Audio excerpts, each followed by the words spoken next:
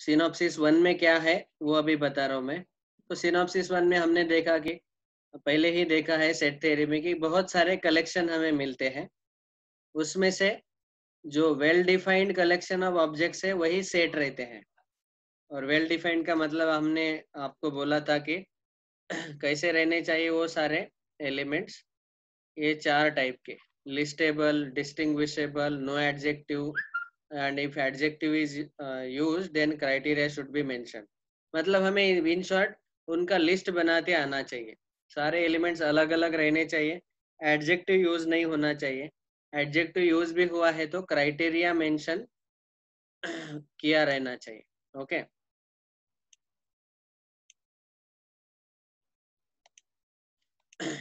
सो वो डेफिनेशन हमने देखा ऑलरेडी देन वी सॉ अगर एक एक एलिमेंट जो है एलिमेंट को हम मेंबर बोलते हैं या तो एलिमेंट बोलते हैं मेंबर बोलते हैं, या तो ऑब्जेक्ट सो एलिमेंट अगर सेट में है तो हम बोलते हैं हम ऐसे लिखते हैं x belongs to capital S and if element is not in the set then we write like this x does not belong to capital S okay तो ये लिखने का तरीका है. Then we saw representation of sets तो दो method देखे हमने.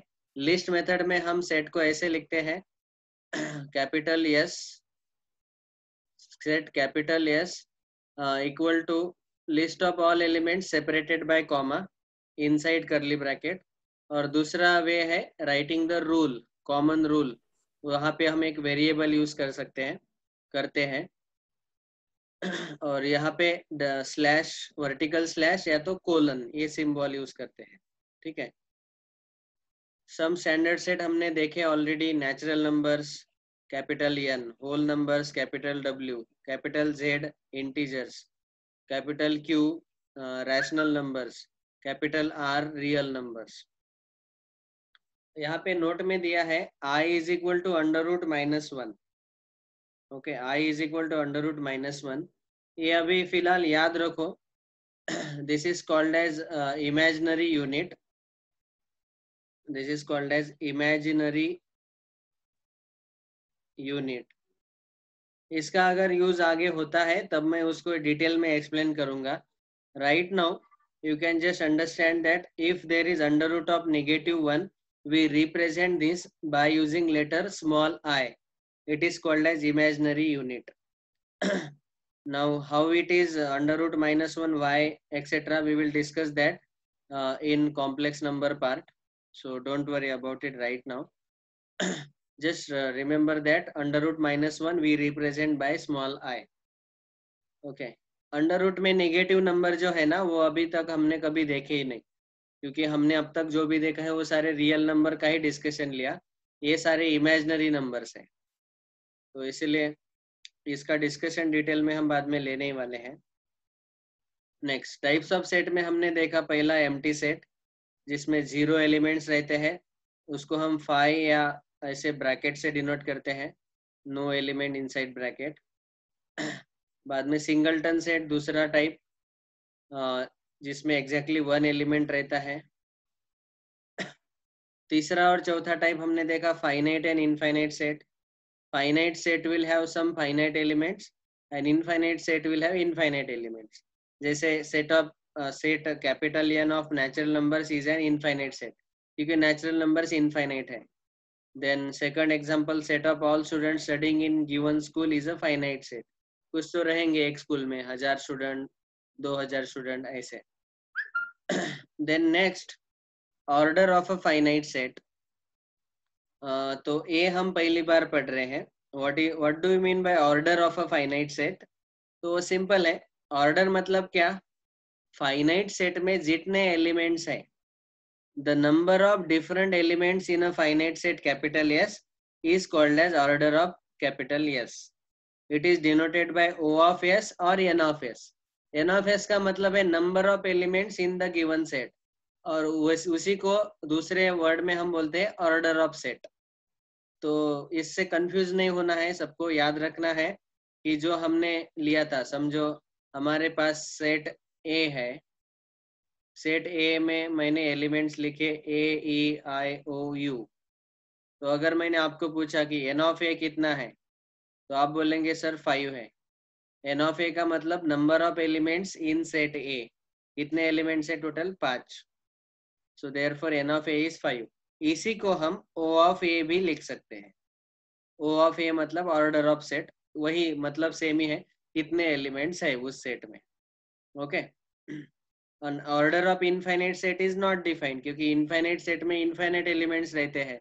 तो इसीलिए उसका ऑर्डर जो है, उसके नंबर ऑफ़ एलिमेंट्स इन्फिनिटी आते हैं तो वो डिफाइंड नहीं रहेंगे। क्योंकि इन्फिनिटी नंबर डिफाइंड नहीं है। ठीक है?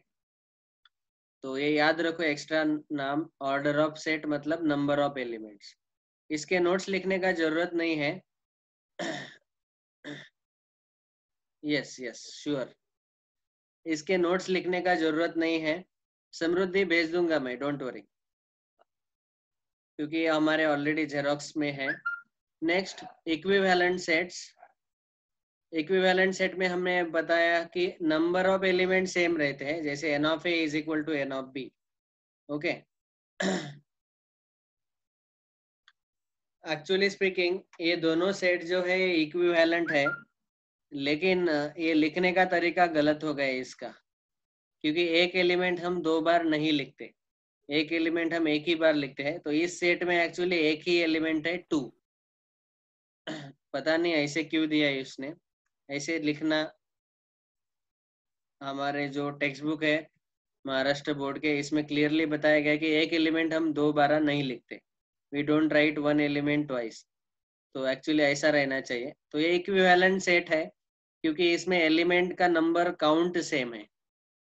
सेकंड एग्जांपल देखो थ्री फोर और set of all elements x such that x square equal to four तो एक्स स्क्वायर इक्वल टू अगर फोर है तो एक्स का वैल्यू मिलेगा मुझे प्लस माइनस टू तो मतलब इस सेट में आपको मिलेंगे दो एलिमेंट एक निगेटिव टू एक पॉजिटिव टू तो इसमें दो एलिमेंट है और इसमें भी दो एलिमेंट है। तो इसीलिए ये दोनों इक्विवेलेंट सेट्स हो गए। इक्विवेलेंट सेट मतलब जिसमें नंबर ऑफ़ एलिमेंट सेम रहते हैं। दो दो वन वन चार चार, पाँच पाँच, ऐसे। Next we saw equal sets तो इक्वल सेट में एलिमेंट भी सेम रहते हैं और नंबर ऑफ़ एलिमेंट भी सेम रहते हैं। जैसे यहाँ पे x square equal to one है तो एक्स का वैल्यू प्लस माइनस वन आएगा। तो इस सेट में भी प्लस माइनस वन है और इस सेट में भी प्लस माइनस वन है।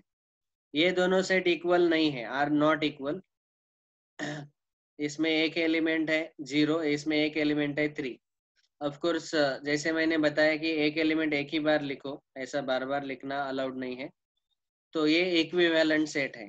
ऑफ़ कोर्स इस नोट्स में इसीलिए उन्होंने बताया क्योंकि हमारा जो स्टैंडर्ड हमने महाराष्ट्र बोर्ड का जो स्टैंडर्ड है, वो बाकी के बोर्ड में वो फॉलो नहीं करते होंगे, इसीलिए उन्होंने सेम एलिमेंट रिपीट किया. तो उससे कंफ्यूज नहीं होना है। आपको याद रखना है कि एक एलिमेंट एक बार ही लिखना है। Next cardinal number of set ये आप अपने नोटबुक में लिखो। ये लिखना ज़रूरी है। ये वर्ड जो है थोड़ा सा डिफ़िकल्ट है, याद रखने को भी। कार्डिनल नंबर ऑफ़ सेट इसी को हमने बोला था order of set order of finite set ठीक है? और नंबर ऑफ़ एलिमेंट्स और इसी को उन्होंने नाम दिया कार्डिनल नंबर ऑफ़ सेट मतलब क्या है? ये जो नंबर ऑफ़ एलिमेंट्स जो है रहते हैं ना सेट में n of A is equal to five देखो इसमें टोटल कितने एलिमेंट्स है? Five so n of A equal to five तो इस फाइव को हम बोल सकते हैं कि five is cardinal number of set A उसका सेम मतलब है नंबर ऑफ़ एलिमेंट्स खाली उसको अलग अलग नाम दिया गया एक नाम दिया ऑर्डर ऑफ़ सेट दूसरा नाम दिया कार्डिनल नंबर ऑफ़ सेट उसका मतलब है नंबर ऑफ़ एलिमेंट्स आपको खाली याद रखना है ऑर्डर ऑफ़ सेट का मतलब है number of elements cardinal number of set का मतलब भी है नंबर ऑफ़ एलिमेंट्स ओके एक इंपॉर्टेंट यहाँ पे वर्ड है distinct number of distinct elements तो जो एलिमेंट्स है वो अलग अलग रहने चाहिए. काउंट करते वक्त समझो फॉर एग्ज़ाम्पल ऐसे नहीं रहता, लेकिन ऐसे दिया है, समझो for example one one two two ऐसे दिया है। तो इसको सेट में लिखते वक्त हम ऐसे ही लिखते हैं। तो इसमें टोटल दो ही एलिमेंट है। डिस्टिंक्ट मतलब अलग अलग एलिमेंट्स रहने चाहिए। तो कितने अलग अलग एलिमेंट्स है? उसको बोला गया cardinal number number of element जो हमने अभी देखा है। ऑर्डर ऑफ़ सेट बोलो कार्डिनल नंबर बोलो नंबर ऑफ़ एलिमेंट बोलो सबका मीनिंग सेम ही है।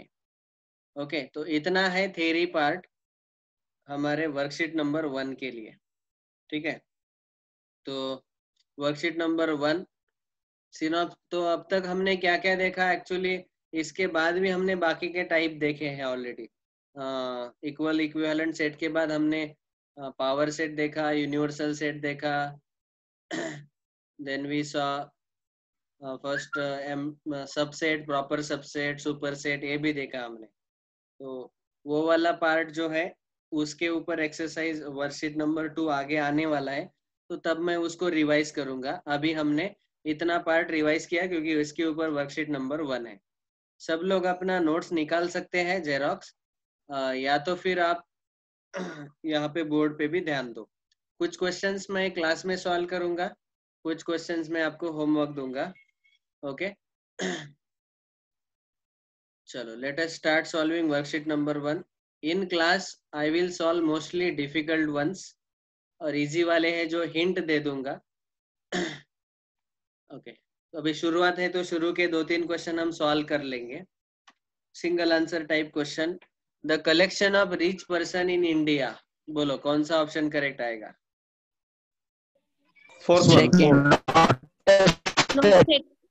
It is not very good why because here adjective rich person in India हाँ अभी बहुत सारे स्टूडेंट जो है वो सोचते हैं कि रिच पर्सन इन इंडिया तो हम लिख सकते हैं ना।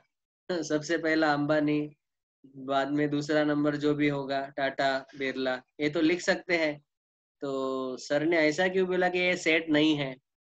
देखो रिच इस वर्ड का मीनिंग खाली वेल्थ नहीं होता है रिच का meaning somebody might be rich in good qualities also okay uh, ha having very nice uh, human qualities someone may might be rich in uh, uh, some particular knowledge of subject तो richness का मतलब खाली wealth नहीं होता है okay okay? तो इसीलिए ये नॉट अ सेट है तो इसलिए अगर मुझे पूछा गया कि रिच पर्सन इन इंडिया तो rich person in India but in which area कौन से एरिया में रिच गुड क्वालिटीज में वेल्थ में? तो वो हमें क्लियर नहीं है। तो इसीलिए हम इसका लिस्ट नहीं बना पाएँगे। This is not listable so therefore it is not a set ठीक है? नेक्स्ट हाँ बोलो। बोलो बोलो बोलो।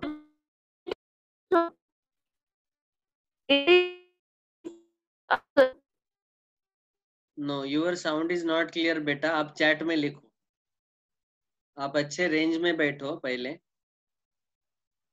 Next second question which of the following is a set नीचे दिए गए कलेक्शन में सेट कौन सा है? बताओ। Third third third collection of all people in Hyderabad अच्छा ठीक है I can do today okay Samriddhi बोल रही इनफाइनाइट सेट अच्छा question number first sir first का इनफाइनाइट सेट पीछे आंसर दिया है क्या इनफाइनाइट सेट पीछे चेक करो अपने नोट्स में क्या क्या आंसर दिया है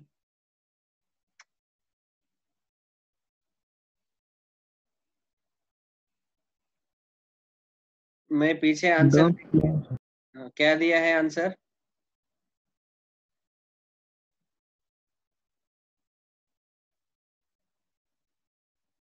नॉट अ सेट दिया है सर नॉट अ सेट ही दिया है ना? समझा सब लोगों को? यही मैंने एक्सप्लेन किया कि बेटा रिच का मतलब खाली वेल्थ नहीं होता है। रिच मतलब गुड क्वालिटीज में भी रिच पर्सन हो सकते हैं। तो उसका लिस्ट हम अलग अलग बनाना पड़ेगा। तो कितने सारे अलग अलग चीज़ें होंगे तो उसका लिस्ट नहीं बना सकते। इसीलिए ये इनफाइनाइट सेट नहीं होगा। ओके ऑफ़ कोर्स अगर इसको सेट बनाना है तो हमें ऐसे लिखना पड़ेगा rich person in India as पर देयर कैपिटल कैपिटल आपको समझ में नहीं आएगा। एज पर देयर इनकम उनका इनकम कितना है, उसके हिसाब से अगर रिच लिखना है तो फिर ये एक सेट बनेगा। और कौन सा सेट आएगा ये? एज पर देयर इनकम तो इंडिया में भी काउंट एकदम फिक्स है। तो ये फाइनाइट सेट ही आने वाला है। इंडिया के जो पीपल है आप उनका काउंट भी फिक्स है। तो ये फाइनाइट सेट आएगा। हालाँकि क्रोर्स ऑफ़ पीपल है, लेकिन वो काउंट एक फाइनाइट नंबर है। इनफाइनाइट नहीं आएगा। Okay so infinite it cannot come at all all right यहाँ पे स्टूडेंट्स ने बोला कि तीसरा ऑप्शन करेक्ट है। ठीक है पहला करेक्ट क्यों नहीं है? कौन एक्सप्लेन करेगा? Sir, in which place? Which of the following is a set second question पहला ऑप्शन करेक्ट क्यों नहीं है? Sir, because Sir, adjective is because- given and there is no any criteria. Very good adjective है talented person तो ये set नहीं है। Collection of all beautiful flowers अभी ब्यूटीफुल फ्लावर्स बहुत सारे फ्लावर्स ब्यूटीफुल होते हैं, लेकिन उसको देखने का नज़रिया अलग रहता है। तो ठीक है, ये भी सेट नहीं है, क्योंकि एडजेक्टिव किया है यूज़ कुछ फ्लावर ब्यूटीफुल भी नहीं हो सकते। All right collection of all people in Hyderabad yes this is a set क्योंकि हैदराबाद में एक फिक्स नंबर ऑफ़ पीपल है और उनका हम लिस्ट बना सकते हैं। जब आप अभी पॉपुलेशन काउंट आने वाला था 2021 में तो 2020 में वो शुरू होने वाला था, लेकिन अभी कोरोना के कारण शुरू नहीं हुआ। तो अभी हमारा पॉपुलेशन एग्जैक्ट हमें पता चलेगा अगले एक डेढ़ साल में। Collection of beautiful girls in India this is also not a set beautiful girls, someone might be beautiful, just bodily beauty, but someone might be beautiful by their good qualities someone might be beautiful in their uh, studies all right etc etc no explanation further next तो ये easy वाले सभी को question है लगता है Fourth. Fourth वाला doubt है आपको No, sir. ठीक है तो ये इजी वाले क्वेश्चन है बेटा इनिशियली तो मैं क्या बोल रहा हूँ आपको कि ये पहले चार क्वेश्चन आप खुद सॉल्व कर लेना। हाँ ऑफ़ कोर्स अभी सॉल्विंग का कैसा करना है, आपके नोट आपके नोटबुक में अगर आपको ऐसे डायरेक्ट आंसर मिलता है तो वहाँ पे डायरेक्टली लिखो ऑप्शन नंबर फोर और जहाँ कहीं भी डायरेक्ट आंसर नहीं मिलता है, कुछ सॉल्व करके लिखना पड़ता है तो वो सॉल्विंग के स्टेप्स के साथ आंसर लिखना है, लेकिन नोटबुक में लिखना है। ठीक है? मैं इसीलिए लिखने को बोल रहा हूँ क्योंकि ये सेट तेरी चैप्टर है, इसमें बहुत सारे क्वेश्चन तो ओरली आ जाएँगे। वन का option four not a set two का option three collection of all paper in Hyderabad three का जो भी आएगा। तो हम डायरेक्टली ऐसे आंसर लिख सकते हैं, ऐसे लिखना है। और जिस पर्टिकुलर केस में आपको डायरेक्ट आंसर नहीं पता रहेगा तो उसको सॉल्व करके लिखना है। ओके पीछे आंसर देख के अगर लिखेंगे तो मुझे कोई फ़र्क नहीं पड़ता है। जब टेस्ट होगा, टेस्ट में कम मार्क्स मिलेंगे, तब आपको ही फ़र्क पड़ेगा। आपको ही पता चलेगा कि अरे, मैंने सब पीछे के आंसर कॉपी करके लिखे, कुछ समझ के, कुछ सॉल्व ही नहीं किया।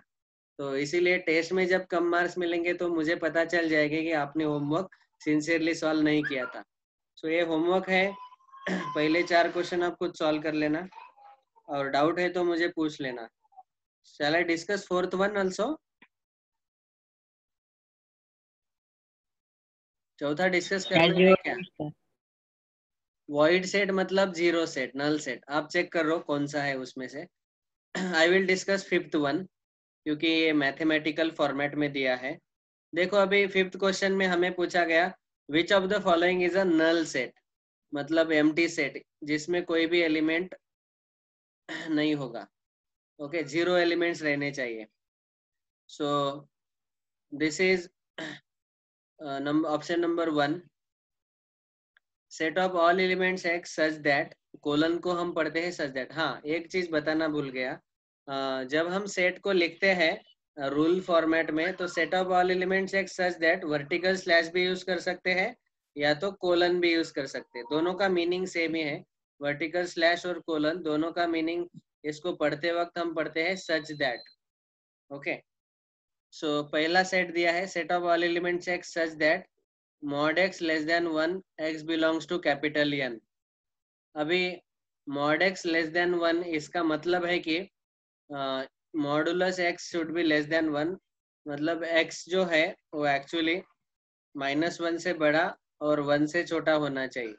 ये ऐसे क्यों आया? कहाँ से आया? कब आया? कौन से दुनिया से आया? ये हम बेसिक इनइक्वालिटी चैप्टर जो है इसमें पढ़ने वाले हैं don't worry right now just understand कि अगर मैंने, मुझे ऐसे यहाँ पे एक्स का ऐसा वैल्यू डालना है, जिसका मॉड लेने के बाद, जिसका मॉड लेने के बाद आंसर वन से स्मॉलर आना चाहिए।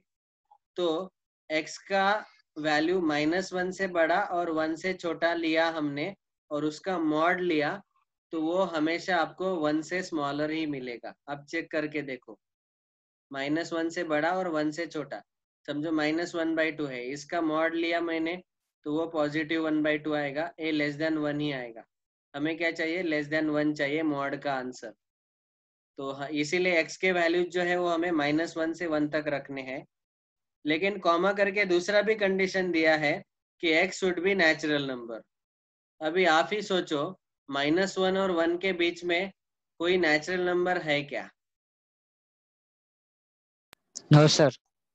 Is there any natural number between minus one and one आपको पता है माइनस वन. ज़ीरो वन कोई नहीं है। इन बिटवीन तो No, sir.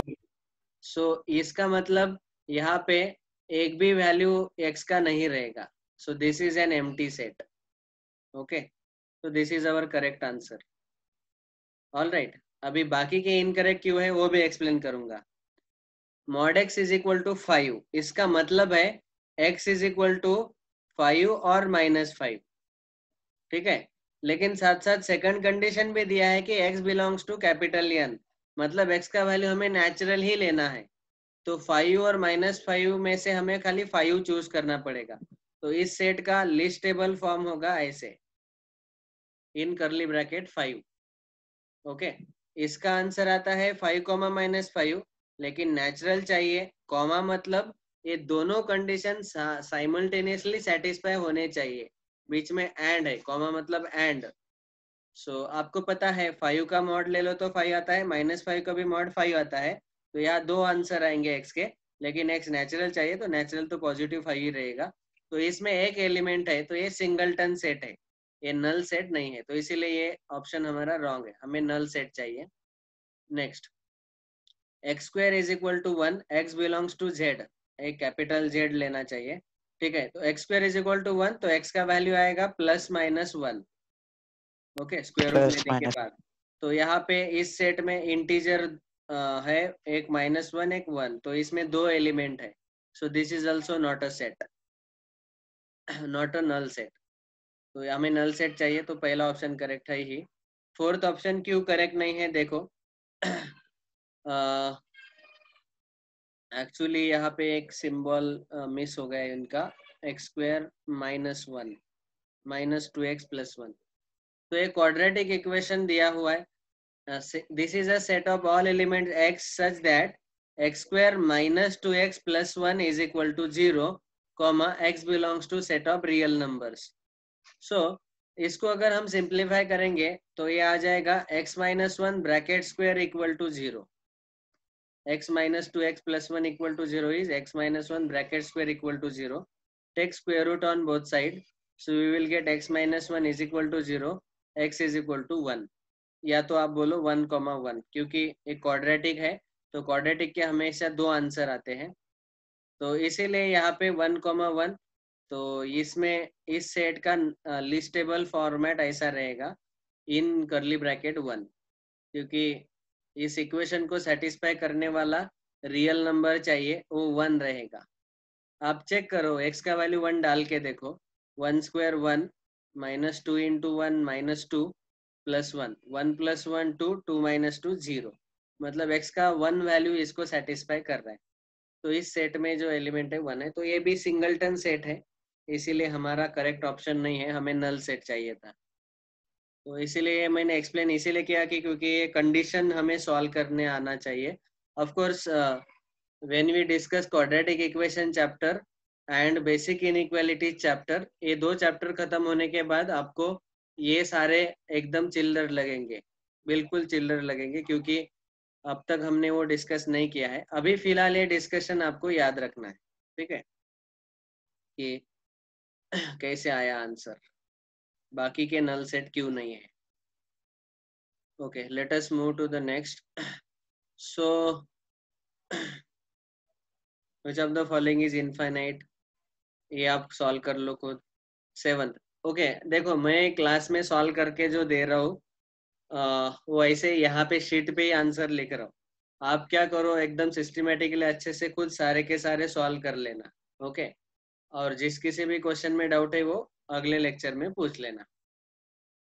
लेकिन नोटबुक में सबके आंसर होने चाहिए, मुझे पर्सनली भेजो आंसर आज से वर्कशीट वन के जितने भी क्वेश्चन मैंने आज होमवर्क दिए, उतने आपको नोटबुक में लिख के भेजने हैं फ़ोटो निकाल के। जो भी नहीं भेजेगा, उनके पेरेंट्स को मैं बोल के सीधा आपको मीटिंग अटेंड करवाने को नहीं बोला। सीधा मीटिंग अटेंड करने को आएँगे तो रिमूव कर दूँगा मीटिंग में से। सो प्लीज़ सॉल्व ऑफकोर्स मैं आपको पूछते रहूँगा कि कितने होमवर्क कर सकते हैं? क्योंकि आपके, आप दूसरे क्लासेस भी रहते हैं तो इसीलिए मैं ज़्यादा भी होमवर्क नहीं दूँगा। Don't worry about it next question number seven the cardinal number of set capital A is equal to A equal to का साइन यहाँ पे चाहिए। A is equal to in curly bracket set of all elements x such that x plus one less than twelve comma x belongs to capital N अभी ये inequality है। इस inequality को solve करके हमें पहले इसका लिस्ट बनाना पड़ेगा। और कार्डिनल नंबर मतलब क्या है? नंबर ऑफ़ एलिमेंट्स अभी मैंने बोला आपको। तो नंबर ऑफ़ एलिमेंट्स इस सेट में कितने हैं? चलो, मैं सॉल्व करने से पहले आप सॉल्व करके मुझे बताओ। I want to check who all can solve inequality इसको सॉल्व कौन कर सकता है? मैं चेक कर रहा हूँ। Sir option number three answer option number three अच्छा। ओके किसने बोला? Chandrashekhar Chandrashekhar Chauhan. Okay sir option number two ये किसने बोला? Who spoke? Option number two, ten? Sir Yuvraj.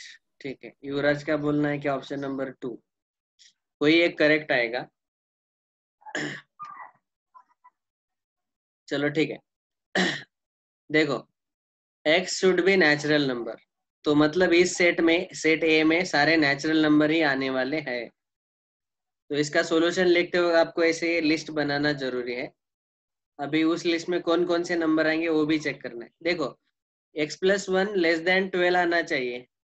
तो आप क्या करो, x के जगह नेचुरल नंबर डाल के देखो। अगर मैंने वन डाला तो one plus one two two less than twelve है क्या? है। तो एक्स का वैल्यू मैं वन ले सकता हूँ। Okay set of all elements x so that x plus one is less than twelve तो वन डाल सकते हैं टू डाल सकते हैं three four five six seven eight nine ten ten भी डाल सकते हैं ten plus one eleven is less than twelve लेकिन अगर मैंने एलेवन डाला यहाँ पे तो एलेवन प्लस वन ये लेस देन ट्वेल्व नहीं आएगा क्योंकि ये ट्वेल्व लेस देन ट्वेल्व होगा this is not correct okay equal to का साइन तो यहाँ पे नहीं है हमें स्ट्रिक्टली लेस देन चाहिए ट्वेल्व से स्ट्रिक्टली लेस देन चाहिए तो इसीलिए यहाँ पे हमें एलेवन एक्स का वैल्यू हम एलेवन नहीं ले सकते तो बस इतने ही आएँगे टेन समझ में आया sir first option is also correct. Yes, sir. 9 plus 1, 10. No no no no first option is not correct खाली ऑप्शन नंबर सेकंड करेक्ट है। वो क्यों बता रहा हूँ? वेट वेट वेट पहले सुनो अच्छे से। देखो A is set of all elements x such that एक कंडीशन दिया है आगे।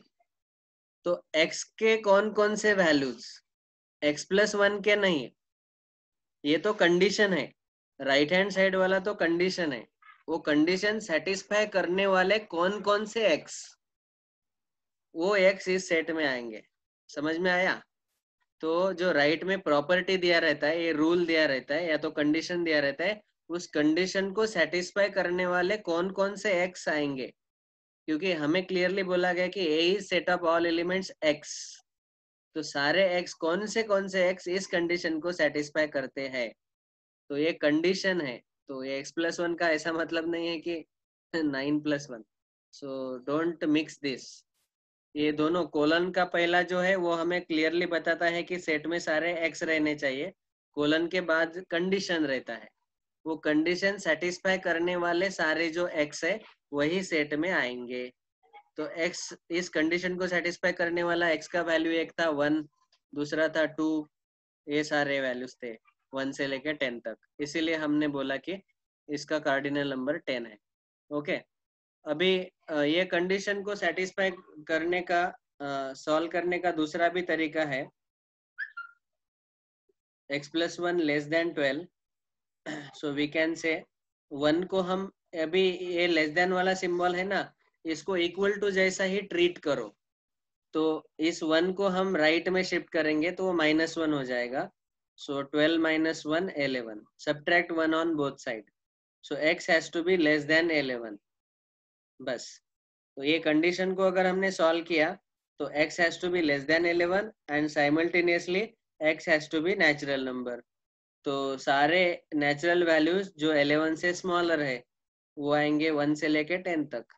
तो इसीलिए इस सेट में सारे x के वैल्यूज़ जो है, वो कौन कौन से आएँगे? 1 से लेके 10 तक। तो टोटल कितने एलिमेंट्स आए? 10 elements is it clear to everyone now समझ में आया क्या सबको? Yes, हाँ। तो ये कोलन के पहले जो दिया रहता है वो ऑब्ज़र्व करो। वो हमारे सेट में आते हैं। तो हमारे सेट में एक्स आएँगे। चलो ठीक है। अगला। सर इसका answer sir fourth eight eight yes sir eight है। इसका किसका? इसका। मैथमेटिक्स इस वर्ड में कितने लेटर है? हाँ एक इम्पोर्टेंट चीज़ है बेटा यहाँ पे। यहाँ पे लेटर जब आप लिख रहे हो तो डिस्टिंक्ट लेटर्स काउंट करने हैं अलग अलग लेटर यम दो बार रिपीट हो रहा है, बाद में ए दो बार रिपीट हो रहा है, उसको एक ही बार काउंट करना है। तो एम ए टी भी दो बार आ रहा है, लेकिन उसको काउंट करते वक्त एक ही बार काउंट करना है। क्योंकि कार्डिनल नंबर का मतलब है डिस्टिंक्ट अलग अलग तो M A T H E C.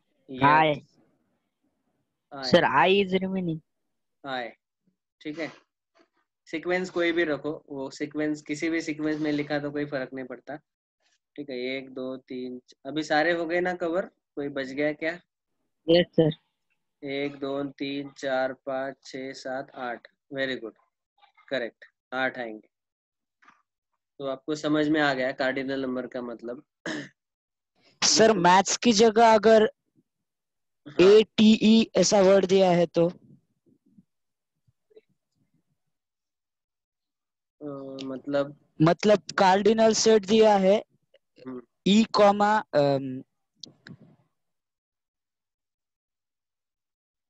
बोलो बोलो बोलो। A equals to comma bracket E comma A comma T हाँ। ये दिया है तो उसका टी भी होता है और ईड भी होता है सर। अच्छा ऐसा है अगर समझो। या फिर स्मॉल लेटर दिए हैं। Okay okay okay. अच्छा आप ये बोल रहे क्या? ठीक है ठीक है ठीक है। He is telling me that कि सर एक सेट है कैपिटल ए उसमें लेटर है ई ए टी या टी ई ए तो ये कैपिटल ए जो सेट है, इसको अगर मुझे रूल मेथड में लिखना है तो रूल मेथड में लिखते वक्त set of all elements x such that x is letter of word eat तो इसका बोलना है कि ईट वर्ड भी ले सकते हैं और यहाँ पे टी वर्ड भी ले सकते हैं। तो ये मैंने आपको ऑलरेडी बताया है बेटा कि कोई भी सेट अगर लिस्ट मेथड में हमने लिखा है तो उसको रूल मेथड में लिखते वक्त हम कितने भी बहुत सारे तरीके से लिख सकते हैं। ठीक है? तो मैंने आपको बताया था कि मैथमेटिकल रूल्स में लिख सकते हैं या फिर स्टेटमेंट में लिख सकते हैं। आपको याद आ रहा होगा। मैं जो बता रहा हूँ, इसका ये आपको दिखा रहा हूँ, देखो। Method of writing set.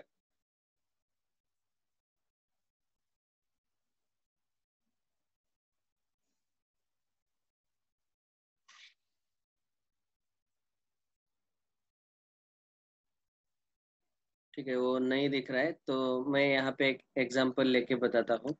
सी देखो, यहाँ पे समझो मैंने एक सेट लिया ए जिसमें मैंने एलिमेंट्स लिए one four nine sixteen for example इस सेट को मैं रूल मेथड में ऐसा लिख सकता हूँ x is a perfect square number perfect square natural number less than 20 ये एक तरीका हो गया। इसी सेट को मैं रूल मेथड में ऐसा भी लिख सकता हूँ। Set of all event x such that x equal to n square n belongs to capital N n is uh, greater than equal to 1 and less than equal to 4 n square मतलब यहाँ one से लेके four तक सबका square ले लो। One square one two square four, three square nine, four square sixteen. तो rule method में हम उसको ऐसे अलग तरीके से लिख सकते हैं। तो वहाँ पे x is a letter of word T बोलो या इट बोलो, दोनों करेक्ट है। Okay both are correct